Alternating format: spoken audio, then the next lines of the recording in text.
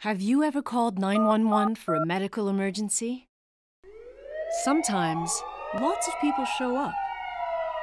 They've all got training in their field, but only one of them has what it takes to give you all the medical care you need advanced medical skills, life saving equipment, and years of training.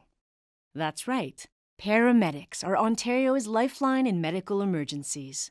And only paramedic ambulance services have an ambulance. And that's important because 8 out of 10 times, people who call 911 for a medical emergency need to get to a hospital. And in many cases, getting the right emergency care and rapid transport to that hospital is what saves lives.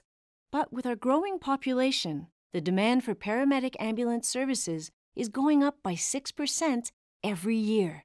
And with our aging population, demand will grow even faster. That's putting a lot of pressure on our emergency medical services. So, what can we do? We can start by funding paramedic ambulance services to meet the growing demand and managing emergency services as our needs change. Here are some more ways to make paramedic ambulance services even better. 1. We need better tools for our 911 dispatch system to prioritize calls so you get the right care at the right time by the right provider. 2.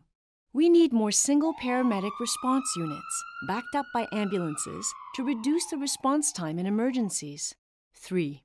We need a registry for life saving defibrillators so 911 knows the closest location when a call comes in, as well as more public defibrillators and CPR training. And 4. We need more community paramedic programs where paramedic teams, hospitals, and community agencies work together to deliver non emergency, in home services that reduce the number of 911 calls that have to be made. You never know when you'll need emergency medical care, but you do know you can count on Ontario's paramedic ambulance services to be your lifeline when you call. Ambulance paramedics, saving lives in our communities.